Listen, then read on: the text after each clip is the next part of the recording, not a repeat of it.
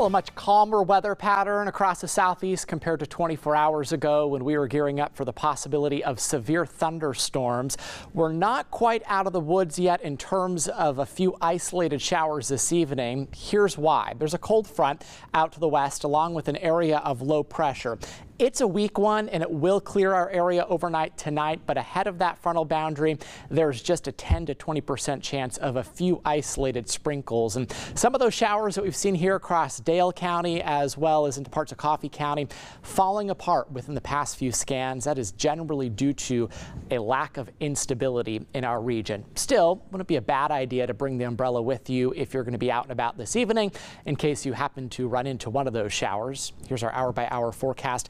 At 9 o'clock, a spotty shower or two, mainly north of Dothan, a little bit closer to Montgomery, and then all that activity comes to an end overnight tonight, and we should be dry by tomorrow morning.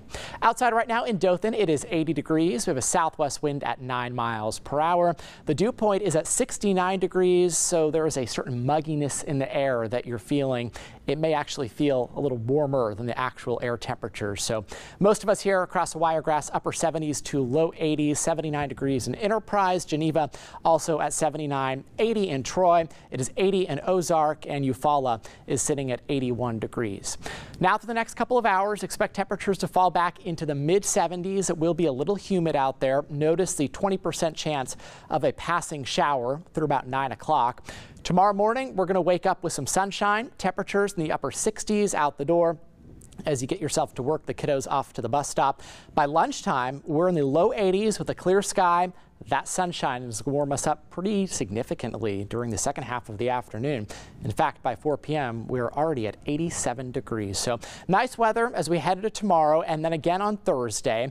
Friday, we're watching our next system start to move in. A warm front will lift north across the wiregrass, so it'll be warm and unstable. We're expecting a line of thunderstorms to form sometime on Friday across north central Alabama and then work into the wiregrass throughout the day.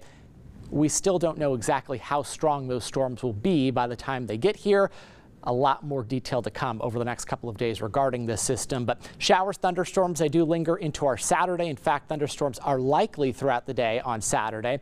Finally, the system will start to move out by Sunday. Can't rule out a couple of morning showers. And then by Monday, we're warming right back up. 89 degrees, 90 for Tuesday. A summer-like pattern will start to set in by then.